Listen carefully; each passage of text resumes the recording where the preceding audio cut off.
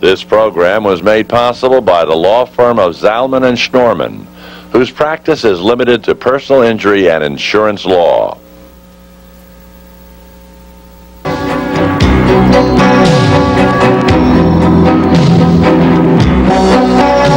Welcome to Lawline with your host, Alan Schnurman.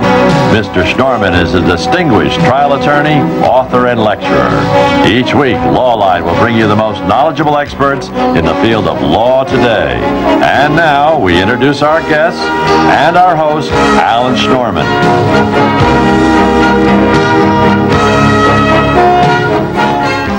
Welcome to Lawline. When Fernando Ferrer was elected Bronx Borough President in 1987, he pledged to revitalize his community by turning what was once a national symbol of urban decay into a model of urban revival.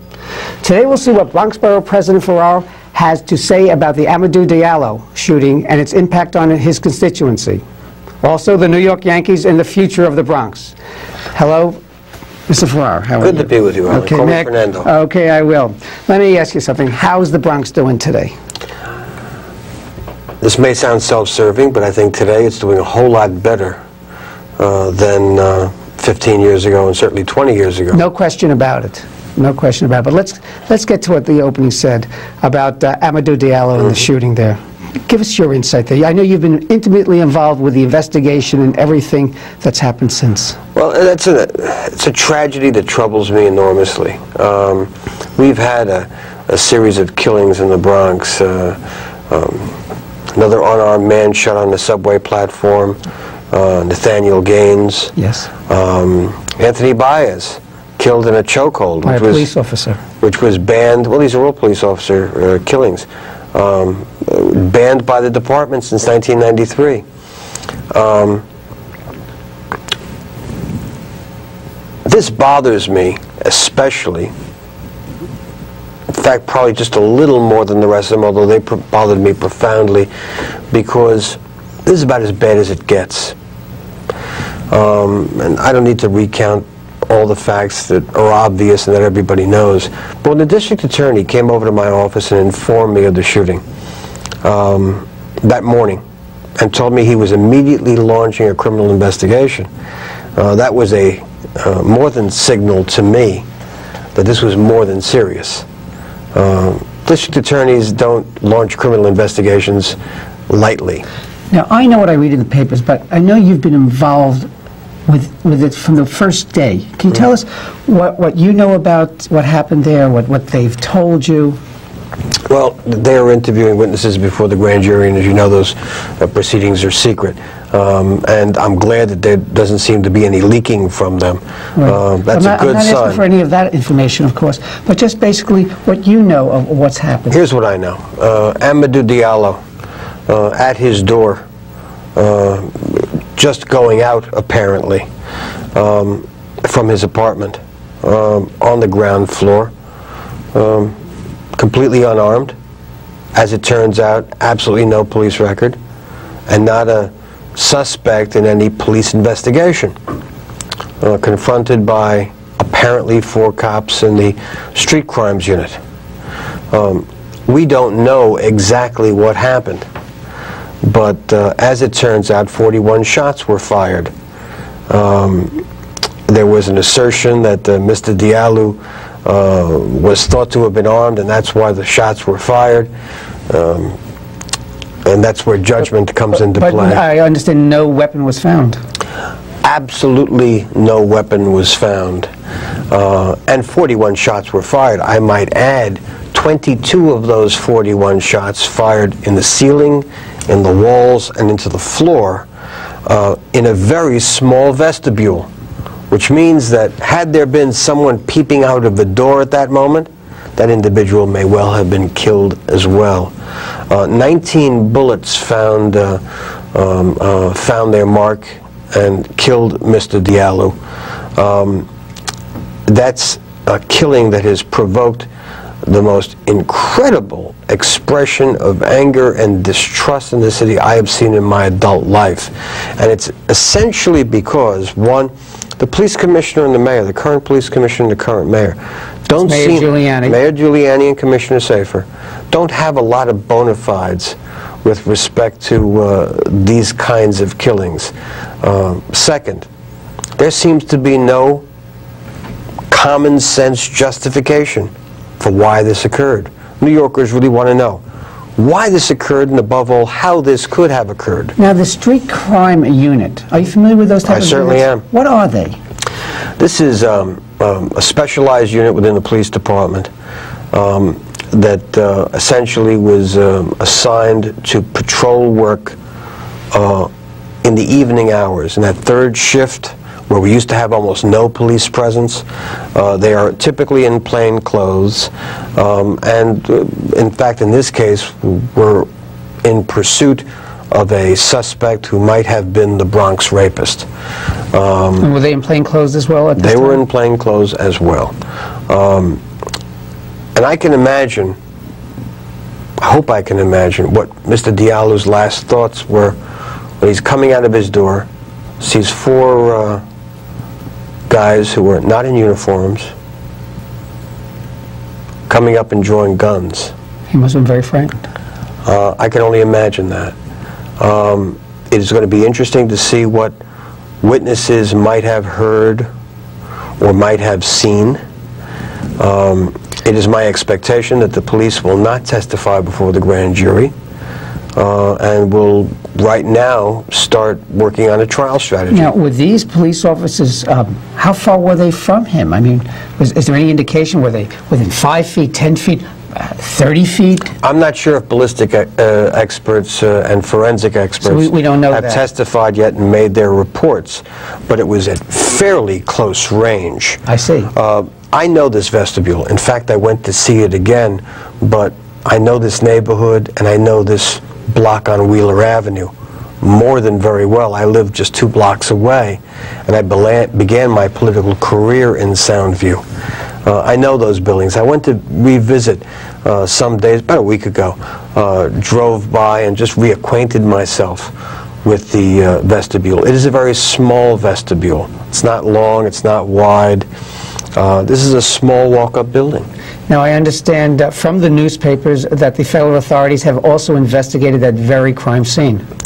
Federal authorities have investigated, and my understanding is the United States Attorney from the Southern District is monitoring this case. As you know, uh, she does not have the same jurisdiction as does the Bronx District Attorney in this matter. Uh, she'll be looking at it, I presume, as she has in similar cases, from the vantage point of civil rights violations. Now, of course, it's my understanding that, um, assuming that these officers are actually go to trial in the Bronx, would be in your jurisdiction. Yes. And if they're convicted, it ends it, but if they're innocent, they could also be facing federal charges subsequent to that. unquestionably. Uh, and that's in fact what happened to police officer Francis Livoti uh, after he was acquitted in a non-jury trial in the Bronx um, and uh, found guilty by a federal uh, jury uh, in Southern civil- District under civil rights statutes. Where are we going with all this? I, I'm sure the community, you read in the paper, every day the community is voicing their anger, their frustration, and their fear. Alan, let me let me define community here. We're not only talking about black and brown communities. We're talking about communities in every corner of the city who are beginning to express not merely concern and anguish over this, but real anger. Uh, people are scratching their heads and wondering how could this have happened to a completely unarmed man who had a police record that was clean as a whistle. Um, so a number of things really have to happen. One, the mayor needs to take some leadership here and bring this city together, uh, reinstill trust in a police department that should inspire trust and confidence and support from every sector of the New York community. There are some things that have to occur now. Look, this shooting indicates to me, just at first blush, appealing to nothing more than my common sense, that there were at least three failures here. First, the failure of training, where these officers apparently could not discern between a completely unarmed man and a man who was making threatening gestures. Second, a failure of supervision. These were four members of the street crimes unit. The nearest supervisor was around the corner, and that was a lieutenant. Third, a failure in the adoption of uh, certain policies that may well have prevented this. And I refer to two specifically. One, in the wake of the Abner Louima incident, and everybody knows what uh, that was about. It was an incredible tragedy. Four cops again accused of brutalizing and sodomizing uh, Mr. Louima, who was uh, who was uh, in their custody at the time. Uh, all have been indicted on serious criminal charges and are awaiting trial. This is a very serious matter. This happened just before the mayor was going into re-election mode. He appointed a commission, which, by the way, I two years ago, as an adversary of his, as a potential opponent, supported him on. I thought what he did was absolutely right. Appoint a commission of unbiased citizens and even biased citizens, but get to the bottom of not only this incident, but what this city can do positively to reform training uh, and other matters in the police force to inspire the kind of trust and confidence and support that, um, that uh, the police department must inspire in every New Yorker. Well, those recommendations came out. The election was over, and the mayor disbanded the commission, trashed the report, and ignored their recommendations. There were very sensible training recommendations made, by the way, by individuals who were appointed not by me, but by the mayor, including people like the Staten Island Borough President, the political ally of the mayor. What everybody wants to know, we know what the past is. You can't, you can't uh, change the past. But everyone certainly wants to, as much as we can, correct the future. Alan, you can learn from the past to correct the future, so we have to revisit those training recommendations that were sensible ones. We have to reverse the five-year trend of systematically weakening the Civilian Complaint Review Board. I am the author of the legislation that created the first Civilian Complaint Review Board in New York City, the half civilian, half police. When it was turned to all civilian, I supported that legislation. I was out of the council by then and a borough president uh, in the Bronx. Um, that has to be re-strengthened as provided in law. What, what uh, the population doesn't understand, that after a case like Abner Louima, which was such a tragedy to happen by uh, police officers, for this to happen again, what is being done between one tragedy and the next tragedy? What type of training, what type of, um, it's almost like an institutional attitude that must be corrected. That's exactly the point I make. The reason why the mayor has no bona fides in these communities is because between the time of these two tragedies, he did nothing. Did nothing. Did not adopt the recommendations made by his own commission, political allies of his, and did not move to put in place safeguards that may well have prevented something like this. However, of course, on the other side, the statistics, and the last uh, five years in the city regarding crime, crime is certainly significantly lower today than it was. Oh, I, I concede that, and that's something we should all applaud. But Alan, if the bargain New Yorkers must make for reduced crime is another Abner Louima incident a few years down the road, or another Amadou Diallo incident a few years down the road, that's a bad bargain, and it's a false bargain. Of course, how do you uh, respond to the fact that there are over 30,000 New York City police officers? And of course, there are very few officers involved in these very events which we're talking about today. There are nearly 40,000 New York City police officers. And in fact, the preponderant majority of them are hardworking, heroic. In fact, in the 43rd Precinct where this happened, only a few days before, I went to the 43rd Precinct uh, station house in the morning to prevent citations to two hero cops who, above and beyond the call of duty, ran into a burning building and saved an entire family. The community will throw you a ticket tape parade for those things uh, when you show respect and love and bravery toward a community, caring and compassion toward a community, that will be returned to you by that community tenfold. Alan, the opposite is also true. We're only talking about very few. The whole key is to correct those very few. That's right. We have to take a break now. We'll be right back, and we'll talk about the Yankees. Okay. You're watching Lawline. I'm Alan Schnurman, your host. Stay with us. Hello, I'm Alan Schnurman. Most of you know me as the host of Lawline, and you've been watching me interview some of the most knowledgeable experts in the field of law. By now you understand the importance of choosing the right attorney to represent you. With so many personal injury law firms to choose from, how do you know who to call? At Zalman and Schnurman, between my partner Ben Zalman and myself, we have over 50 years of litigation experience, and I'm proud to say a proven record of satisfied clients. Our goal is to make certain you receive fair and equitable compensation for your injury. So, if you've been injured in an accident of any kind, including a construction accident, call us at 1 800 Law Line. We'll be happy to speak to you and evaluate your case, and there is no fee. If it is impossible for you to come to our office, we will come to see you. We know that this could be a very difficult time in your life, and we're there to help you. Call us or visit our website at lawline.com.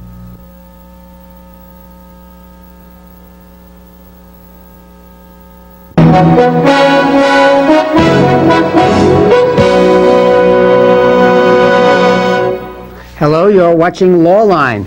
We have an exclusive interview with Bronx Borough President Fernando Ferrer. Before the break, I asked you about the Yankees and Yankee Stadium. What's the story on that?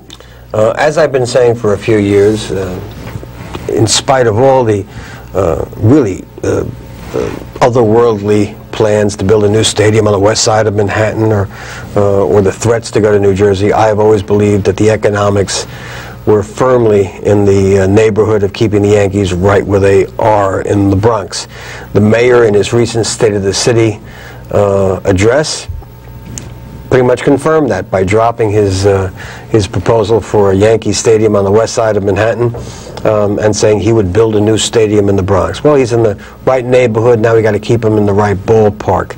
I've offered a plan for well over a year that is architecturally creative, much more cost effective, will not only rebuild Yankee Stadium, but establish it as the centerpiece of an economic engine to rebuild the areas around Yankee Stadium, which are, by the way, city owned, to make important synergies between the stadium, business, and jobs in the area. Now, Fernando, you've been a politician most of your professional life. Mm-hmm. I know you were the city council before you were Bronx Borough president. I know, hopefully, you, you certainly ran for, for mayor. And you may very well run for mayor again. What do you think of the uh, potential battle between Giuliani and Hillary Clinton? I like that lineup. I like it an awful lot. Uh, anybody who thinks Hillary Clinton will be a pushover has got to be delusional. Uh, she has got a, a great record in education, uh, great record in health care, a great record in crime. Her husband was the uh, one who uh, passed the crime bill and put 100,000 more cops on the street. Um, anybody who tries to uh, run against her is tougher on crime than she is makes a big mistake. So tell me about your future. Where are we going? Well, I have uh, three more years to serve as borough president of the Bronx. Uh, I've been there for nearly 12 years. It's like being the mayor of my hometown. I was born and raised and educated in the Bronx. It has really been one of the most challenging, certainly, jobs I've ever had in my life. Uh, and probably one of the most challenging urban assignments in America, considering where the Bronx was when I first took my oath of office, and where uh, we had to take it to. Uh, I haven't finished accomplishing everything I have set out to do. Uh, I want to do that in the next three years, and I'm certainly looking very seriously at another run for mayor.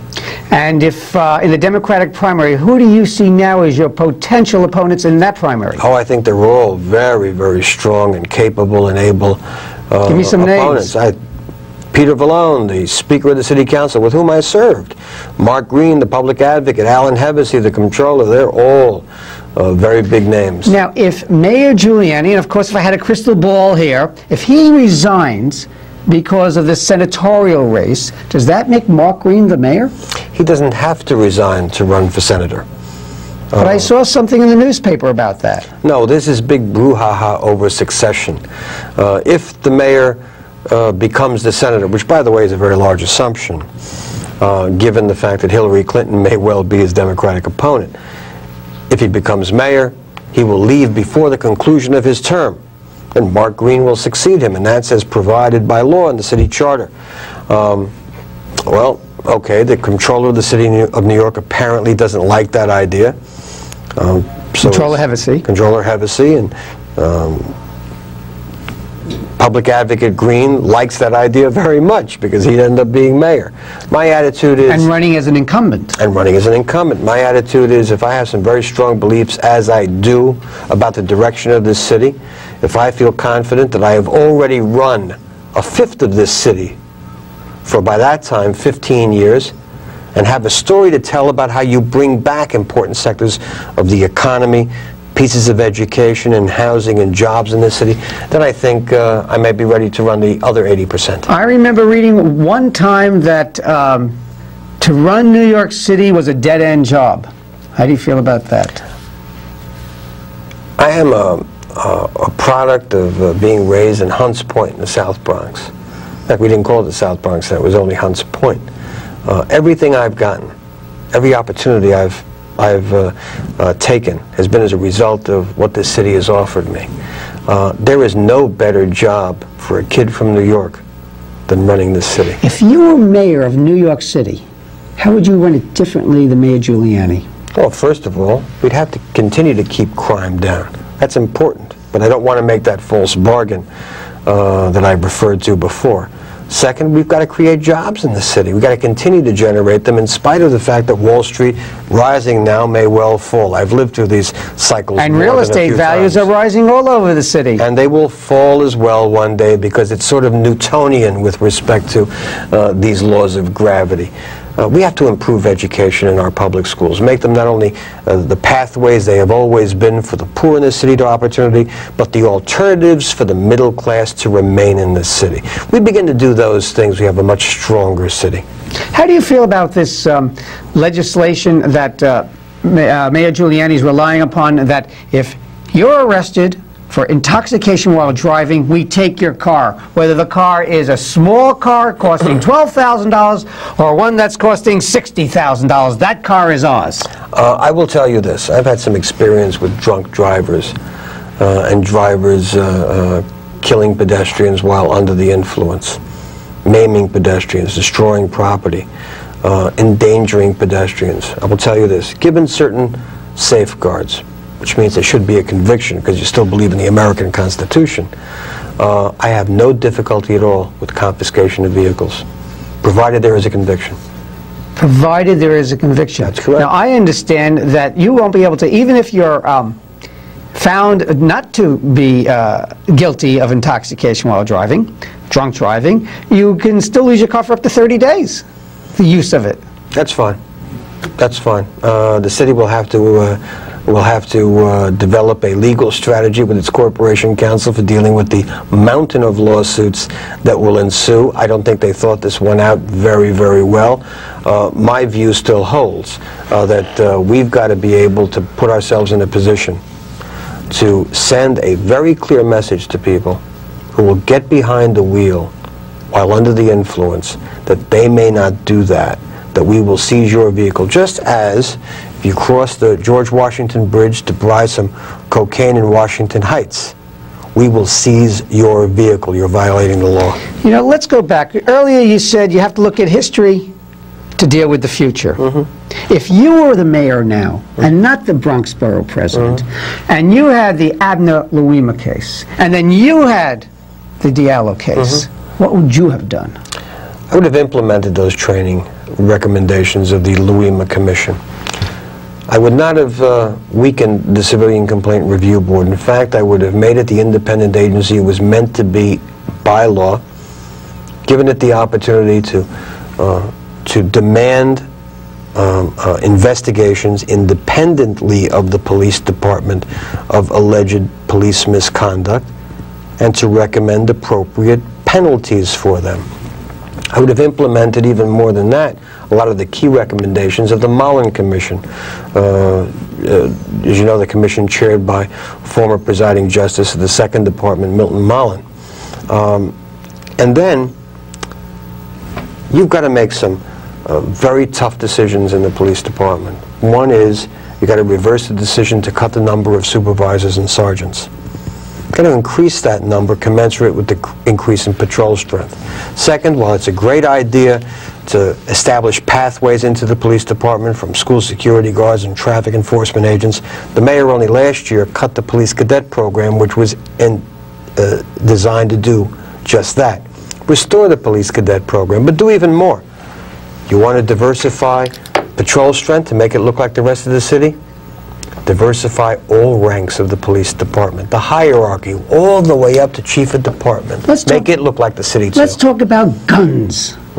There's nothing more scary than being in a, a subway car knowing that there could very well be a gun in that particular subway car. Yes. How do we get the guns off the street? How do we get the guns away from the children?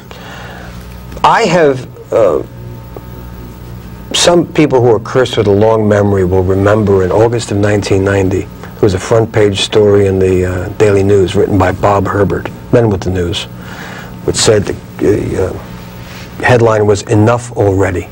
And it was an interview with me uh, saying to Mayor Dinkins at the time, you've got to hire 7,000 more cops to get these guns and drugs off the streets. And it was a consequence of a shooting on the Grand Concourse. And behind an apartment door, while shots were fired through the door, a child was killed. We have to get guns off the street, and cop, more cops help us do that. Communities want more cops in their neighborhoods and better trained cops and more sensitive cops, but they want the guns and the drugs off the streets. I also very much like the lawsuit that's going on in the Eastern District against the gun manufacturers. They know what they're doing. They're producing more guns than the uh, demand requires, guns that can be easily transported into states with strong gun laws like New York State, uh, from states with very weak gun laws uh, like Virginia and the Carolinas. Uh, uh, that's, uh, that's stuff that's killing our young people, killing old people, serving as vehicles for crime. Now, in our high schools, uh, guns have been found right in lockers throughout our city. Would you put metal detectors in our high schools? There are already metal detectors in a tremendous number of high schools. Uh, that's a tough thing, having magnetometers uh, for kids to pass through. Uh, that's why I prefer smaller schools. When you have these schools that are like factories with four to 6,000 kids in them, no teachers and no principals knowing uh, the uh, student body there, uh, anything can go on in the school. We have to have smaller schools where, especially high schools, where students and teachers and counselors know them a whole lot better, can keep an eye on the situation a whole lot better, and you can keep control of uh, a lot of the students who are disruptive. That's why I supported the uh, SOS schools, the special schools set up to take the most disruptive kids out. In the moment we had left, have left, if Mayor Giuliani is watching this program, what would you like to say to him? Rudy, this is your chance to really establish some bona fides with people in this city. Implement the sensible training recommendations of the Louis Commission. Implement the recommendations of the Mollen Commission. Stop weakening the Civilian Complaint Review Board. Uh, not only proceed with the very good idea of diversifying patrol strength, but do it at all ranks of the police department. And then people will really see that you care about not only strengthening the police department, but strengthening a police department that inspires the trust and confidence and support of every New Yorker. Fernando Ferrer, Bronx Borough President, thank you for being on Law Line. Thank you, Alan. And as always, this is Alan Schnurman, thank you for watching Law Line.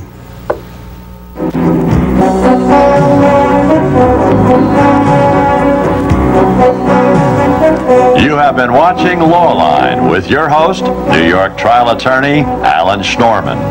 Mr. Schnurman will be back with you next week at the same time. If you have any questions about this week's program, please write to Lawline, 63 Wall Street, New York, New York, 10005, or call area code 212 432 9111. This program was made possible by the law firm of Zalman and Schnurman, whose practice is limited to personal injury and insurance law.